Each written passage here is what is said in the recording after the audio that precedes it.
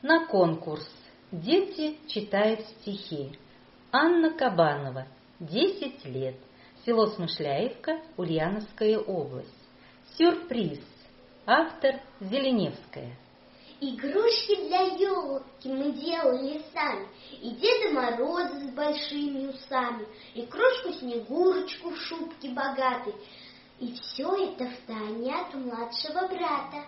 Он в комнате рядом на мягкой кроватке улегся удобно и спит себе сладко. А мы потихоньку собрались сегодня ему приготовить сюрприз новогодний. Чего только нету на елочке нашей. Вот клоун веселый со свинками пляшет, вот дождь золотистый по веткам струится, тут зайчик пушистый, а рядом жар птица.